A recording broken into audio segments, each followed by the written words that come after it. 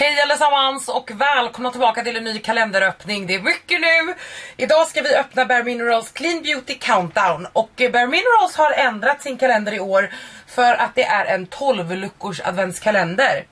Bare Minerals har haft kalendrar ganska många år och de brukar inte vara dåliga men det brukar inte heller vara någonting superspeciellt eh, så. Men i år så är den ljusblå för det första, sjukt söt. Och det är då 12 luckor. Bare Minerals är ju ett otroligt eh, trevligt märke. Jag älskar Bare Minerals, jag har deras foundation på mig idag. Det här är en av marknadens bästa foundations. Fantastisk. Och de gör väldigt, väldigt mycket bra produkter. Så jag tycker att det är jättekul att de har en kalender. Jag ska nog sänka min lilla fläkt här hörni. Det är mycket brus nu. Eh, Nej men alltså det är ett jätteroligt märke som jag tycker väldigt mycket om. Så det ska bli jättekul att öppna den här. Jag har köpt den här på... Ja, vad har jag köpt i någonstans? Jag tror att jag har köpt dig på Lyko. Eh, och eh, finns på flera ställen givetvis. Men jag tror att jag beställde den från Lyko. Så, låt oss öppna 12 luckor. Jag lägger ner dig för jag kommer döda den. I lucka nummer ett så är det en... Är det sant? Det är en fullstorlek produkt. Oj jävlar vad de här var svåra att få upp. Okej. Okay. That's gonna be angry. Det är en fullstorlek och det är en fantastisk produkt. Det är deras Mineralist Lip Gloss Balm. Och det här är superåterfuktande läppbalsam. Eh, mer som ett gloss i konsistensen, mer som ett gloss i eh, applikation men lika vårdande som ett läppbalsam. Det är i färgen Love, jag tror inte att jag har Love, jag har tre andra färger tror jag. De är jättetrevliga. Om man älskar tanken på ett läppglans men man behöver återfuktningen då är Bare Minerals variant ett mycket bra alternativ och finns i jätte, jättemånga fina färger. Så det var ju roligt. Det har inte varit så mycket fullstorlekar i eh, de tidigare kalendrarna och jag tror att det är därför folk har varit lite så här. Folk vill ändå ha det liksom. Speciellt när det kommer till typ smink och så. Så att eh, ja, vi får se vad som dyker in här mer. Här är lucka nummer två.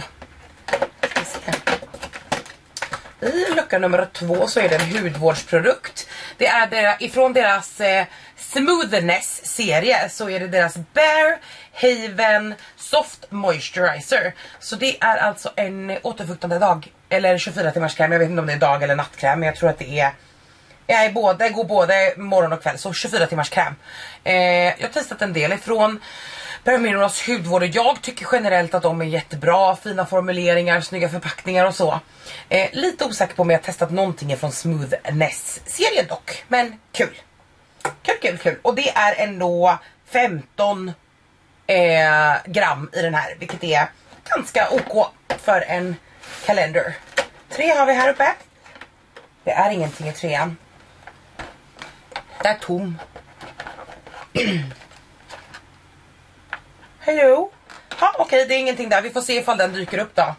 Lite senare i kalendern. Fyra har vi här borta då. Här har vi en till hudvårdsprodukt. Nu ska vi se här. Det är från deras Pureness-serie. Och det är deras gel cleanser med eh, coconut och prickly pear. Den här har jag faktiskt testat. Eh, kommer faktiskt inte ens ihåg vad jag tyckte om den. När jag inte minns vad jag tycker, då tycker jag oftast att de är ganska mellanmjölk. Alltså funkar bra, jag gillade dem, skulle kunna tänka mig att ta slut på produkten. Men ingenting mer speciellt än så. Men de är, jag minns nästan alltid när jag inte tycker om saker dock. Så ändå helt ok. Gel cleanser. Femman är precis över fyran. Här har vi litet puder. Vi har fått deras Bare Minerals Eye Color i fullstorlek i Queen Phyllis. Och det är alltså, jag vet inte om ni ser, ni kanske ser bättre på undersidan. Det är en eh, champagne typ ögonfärg. Skitfin. Sån här funkar också jättebra som en highlighter om man vill ha en multiprodukt. Superfina bara över locket, ingenting annat, bara blablabla. Superfina. Åh, oh, vad tjusig. Okej, okay, that's nice. Undrar var fyran är någonstans, ja. Vi ska se här nu om jag kan öppna lucka nummer 6. Oh! Där är ifrån deras Ageless serie. Så har vi fått deras Phyto Retinol. Eh, 10% Phyto Retinol Night Concentrate. Och det här är 30 ml fullstorleken. Phyto Retinolen är ju deras variant av en retinol. Det är inte en retinol, eh, men det, det, ja, det ska funka på samma sätt, du ska använda den på samma sätt som en retinol. Väldigt populär. Eh, jag var med när den här lanserades på ett litet, eh, det var under pandemin så det var ett litet, eh, eh, vad heter det? Event på internet.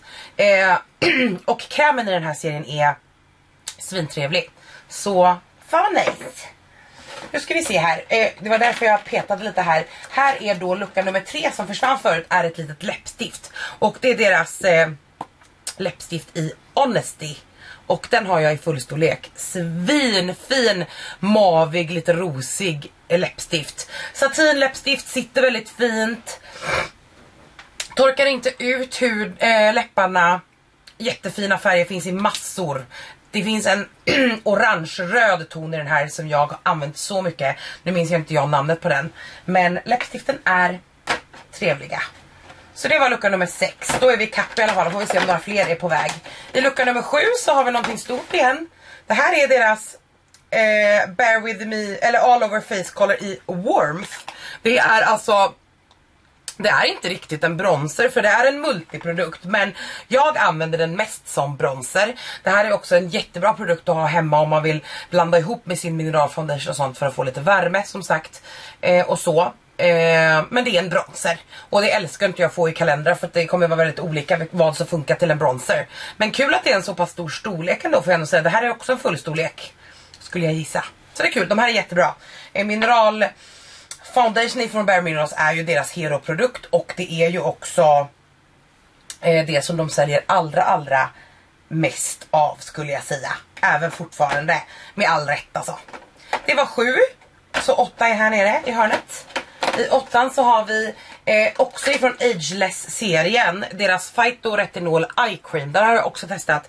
Den är också jättetrevlig. Väldigt, väldigt eh, återfuktande och mjukgörande. Fem gram är en ganska nice storlek också på ögonkräm. Eh, för att man behöver ju så himla lite på ögonområdet. Så där is nice. Nio har vi längst upp. En penna är det där. Det är väl en svart kajal då. Det är deras Mineralist Eyeliner i Onyx. Som är den svarta. Det här är ju då en eh, uppskruvningsbar svart som är jättebra. Sota, sitter hela dagen. Funkar både i vattenlinjen och utanför. Fullstorlek också. En liten svart kajalpenna. Går väl typ inte fel eller? Det är väl ändå nice. Skulle jag säga. Fan hatar den här tröjan. Jag känns som att jag visar tuttarna hela tiden. Eh, lucka nummer 10. Mm. Jo, 10. Det här är ett fullstorlek lipstick. Det är ju roligt. Åh! Helvete! Det här är alltså, åh det är den här!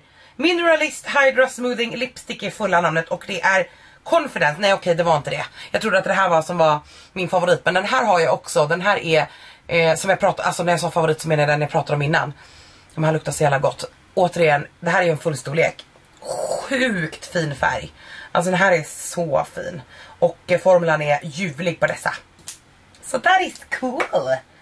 Och lucka nummer 11 har vi då här uppe. Och det är deras eh, relativt nya mascara. Det är en av deras senaste släpp. Så jag tror de släppte dem i våras kanske. Det är deras Maximist mascara. Trevlig, trevlig, trevligt. Och det var då lucka nummer 11. Så vi snurrar på den här och öppnar lucka nummer 12. Och det är deras Skin Longevity, men gud vad jag river saker. Skin, Skin Longevity Long Life Herb Serum. Och det är återigen ett serum då. Det här tror jag är deras bästsäljande serum. Eh, om jag inte missminner mig. Really nice. Alltså den här är okej. Okay. Eh, jag kommer inte ihåg vad jag betalade för den här men jag betalade ganska mycket. Eh, över 1000 kronor gott och väl. Ärligt talat borde vi typ titta det. Eh, jag, ja jag tror att jag kanske betalade 1500 för den här. 1500, jag betalade till, till och med 1700 för den här. Det är väldigt mycket. Det är ett serum. Det är ett fullstorlek serum. Det är ett fullstorlek utav deras lipgloss. Det är en fullstorlek eh, läppstift. Mini på mascara, litet ögonkräm, fullstorlek på bronsen, fullstorlek på ögonskuggan, fullstorlek på ö, ögonpennan, litet läppstift och två stycken travel size eh, hudvårdsprodukter. Alltså det är inte en, älskar man Bare Minerals så är inte det här en skitdålig kalender. Men ärligt talat så är den inte heller, alltså man kan inte, oh, fan det är mycket alltså.